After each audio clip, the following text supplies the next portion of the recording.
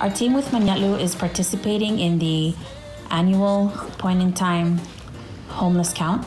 This is a nationwide initiative to survey individuals and families experiencing homelessness in a single night. Throughout the day, our team with Mañe'lu, Project Akuti, and the Micronesian Resource Center conducted surveys in the Gill-Baza subdivision in Yigo and volunteered for the evening shift in Tumon. As active members of the Guam Homeless Coalition, our organization volunteers to conduct surveys on families and individuals lacking proper shelter.